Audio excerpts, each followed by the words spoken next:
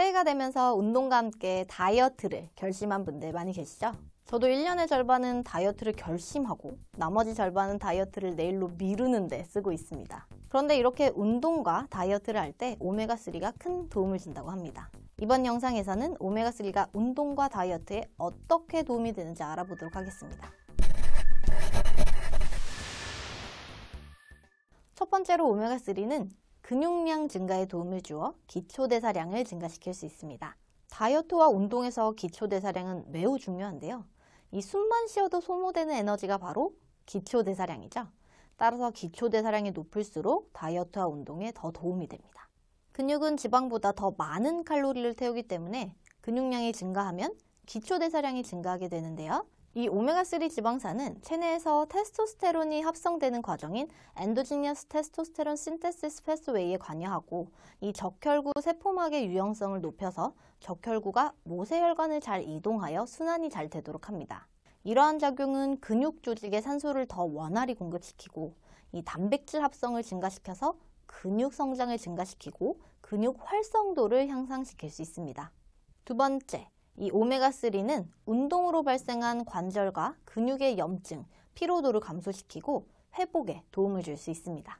근육은 운동을 통해서 반복된 자극으로 손상을 입은 근육이 치유되는 과정에서 증가하게 됩니다. 이때 근육에 발생한 미세한 손상이 바로 근육통인데 이 오메가3의 항염증 작용이 운동을 통해 발생한 관절과 근육의 통증 그리고 염증 완화에 도움을 줍니다.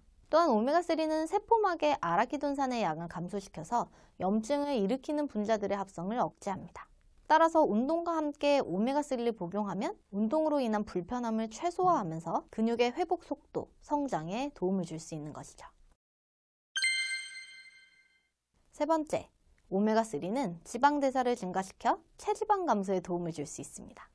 호주 애들레이드 남호주 대학 연구팀은 이 오메가3를 섭취한 집단과 섭취하지 않은 집단을 비교한 결과 오메가3를 섭취한 집단에서 더욱 큰 체중 감량 효과가 있었다는 연구 결과를 발표했습니다. 이 고혈압이나 고콜레스테롤 혈증과 같은 심혈관 질환 위험성이 있는 과체중 또는 비만의 남녀를 두 그룹으로 나누어서 이 식습관을 유지하고 가벼운 운동과 함께 한쪽은 매일 규칙적으로 오메가3가 풍부한 참치 오일을 다른 그룹은 오메가3가 들어있지 않은 해바라기 오일을 복용하였는데요. 일주일에 세 차례 45분 정도 걷기나 달리기 등의 가벼운 운동과 함께 오메가3를 복용한 그룹은 평균 2kg의 체중 감량 효과를 보였으나 이 해바라기 오일을 복용한 그룹은 전혀 체중이 줄지 않았다고 합니다.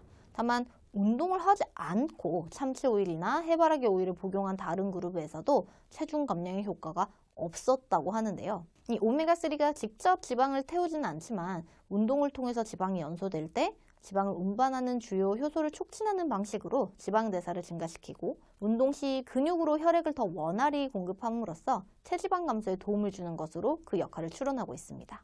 그 외에도 오메가3가 식욕 감퇴에 도움이 되었다거나 운동 시 소비하는 칼로리를 증가시켰다. 그리고 비만세포 활성화에 중요한 역할을 하는 가타 원투 유전자의 활동을 억제하여 이 비만세포의 발현을 막는 기전으로 비만 예방 효과를 갖는다는 연구들도 있습니다. 다이어트를 위해 오메가3를 복용하실 때에는 오메가3의 성분을 확인해 보시는 것이 좋습니다. EPA, DHA 등의 동물성 오메가3는 항염증 작용, 단백질 합성 및 근육 성장, 그리고 지방대사 증가 등의 효능을 가지는 데 비해서 이 식물성 오메가3는 주로 들깨, 아마씨유 등에서 추출되며 주성분인 알파리놀레닉 애시드, ALA는 에너지원으로 많이 쓰이게 됩니다. 따라서 식물성 오메가3를 과하게 복용하게 되는 경우에는 이 에너지원으로 다 소진되지 못한 잉여의 에너지들이 지방으로 전환되며 오히려 비만을 유발할 수도 있으니 주의하실 필요가 있겠습니다.